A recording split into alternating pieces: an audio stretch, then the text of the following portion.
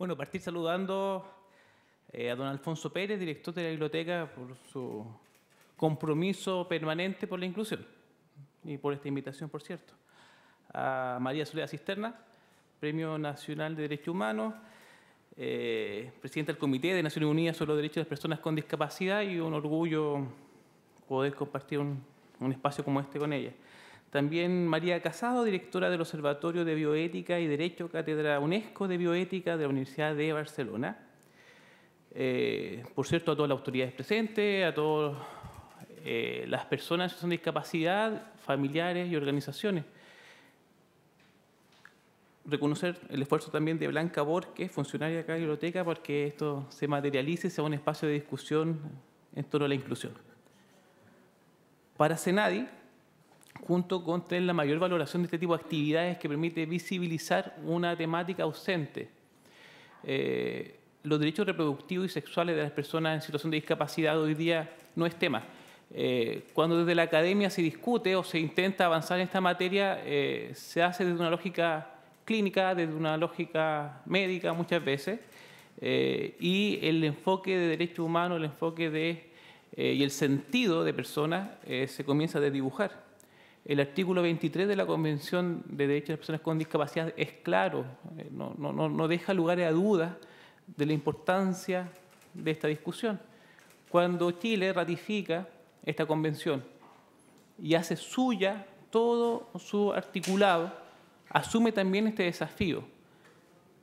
Como bien planteaba la presidenta del Senado, la señora Isabel Allende, en torno a la modificación del Código Orgánico de Tribunales aprobado recientemente por el Senado, eliminando esta prohibición odiosa de excluir a abogados ciegos y sordos de ser jueces de la República, debe sin duda lograr permear cada uno de los articulados que hoy día generan la misma discriminación odiosa en diferentes eh, reglamentos, diferentes leyes, que hoy día impiden el pleno goce de derechos de las personas que viven en situación de discapacidad.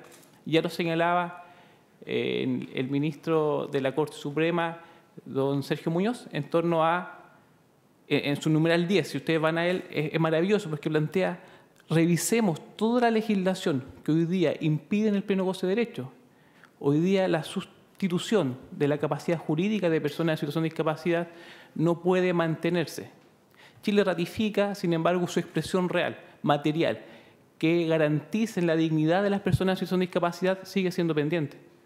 No basta con que nuestro país ratifique tratados, ratifique eh, distintas legislaciones internacionales, si no estamos dispuestos de forma honesta a modificar todo lo que se debe modificar a objeto de garantizar los distintos derechos que se consagran en ello. Desde Senadi estamos eh, dispuestos a abrir el debate, a generar una mirada distinta y a jugárnosla día a día por la inclusión plena y efectiva.